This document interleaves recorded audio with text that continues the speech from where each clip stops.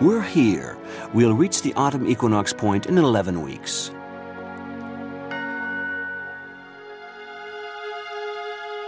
Venus appears in the evening every 20 months or so, just after the sun sets.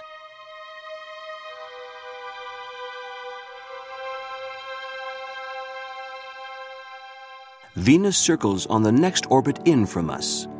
Venus is an inner planet between Earth and Sun, so we never see it far from the Sun. As you see, it moves faster than we do, eight months to revolve completely around the Sun. On Earth, we take 12 months. Sometimes we see Venus to the right of the Sun, and then after a few months to the left of the Sun. At this point, it's visible in the evening.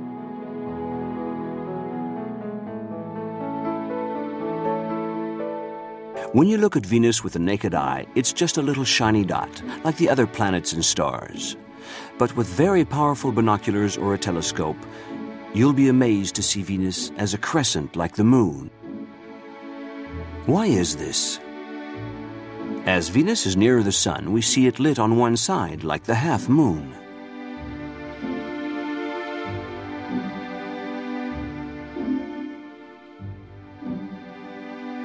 On the evening, take a good look at Venus, our sister planet. About every five years, just after sunset, you can see the solar system lined up. From left to right, Mars, the Moon, Venus, and Mercury, if there's no mist, and the Sun, which we can picture just below the horizon. All the solid planets in the solar system are gathered together before our eyes and easy to find next to the Moon.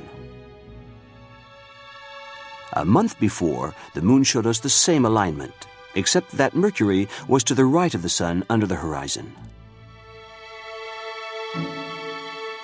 In the meantime, Mercury, the planet closest to the Sun, has covered a third of its orbit to move between the Sun and Venus.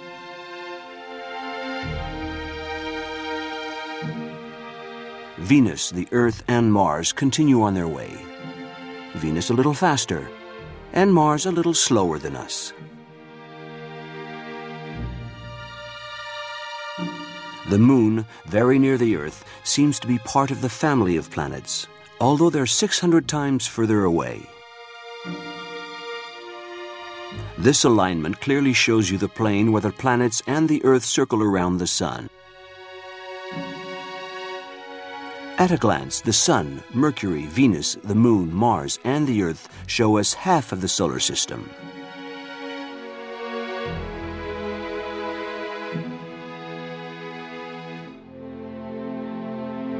Every 20 months from week to week, we see more of Venus in the evening sky. Why? Every day, as the sun crosses the sky, it's followed by Venus, invisible in this blue sky. When Venus follows the sun very closely, in the evening, as soon as the sun has set, Venus also drops below the horizon, so Venus remains invisible. Now Venus moves further and further clear of the sun. When it follows the sun at a greater distance, Venus crosses the sky an hour later. After the sun sets, Venus has time to shine for an hour before it sinks below the horizon, too. Venus is so bright you can sometimes see it during the day, if the air is very clear, in the desert or mountains, or if you're flying.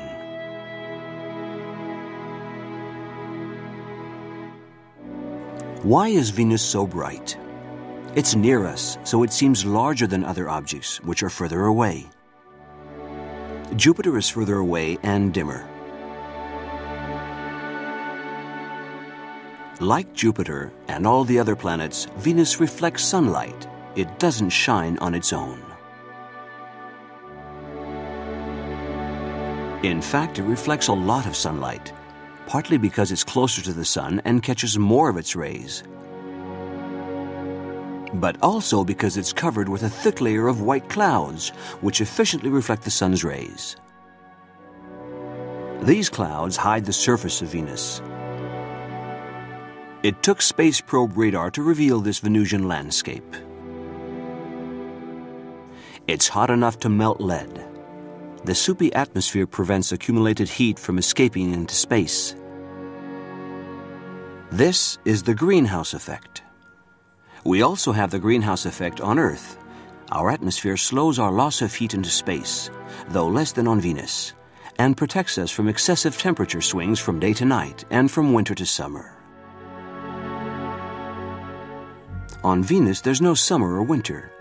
The sun's rays always strike at the same angle, because Venus's axis is almost vertical to its orbit. Under the clouds, Venusians, if there were any, would never see the stars, or even their neighbor, Earth. But Venus has another peculiarity. It rotates in the opposite direction to almost all the other planets, and very slowly. The Earth takes 24 hours to rotate on its axis, and Jupiter 10 hours, but Venus takes 8 months slightly longer than it takes to go round the sun. What's happened? The thick atmosphere surrounding Venus has a tidal effect, like the tides in our oceans. The pull of the sun draws Venus's atmosphere into a tidal bulge. Dragged out of shape, Venus slows in its spin. As a result, the sun has more time to heat this part of the atmosphere, so it expands and reinforces the tidal effect slowing the planet even more. All these effects build up until the planet's rotation is halted and even reversed slightly. A mysterious phenomenon occurs whenever Venus and the Earth are closest together. Each time we meet, every 20 months, the same slice of Venus is pointing towards us. It may be coincidence, but what if it were a sort of planetary interplay between us and our neighbor Venus?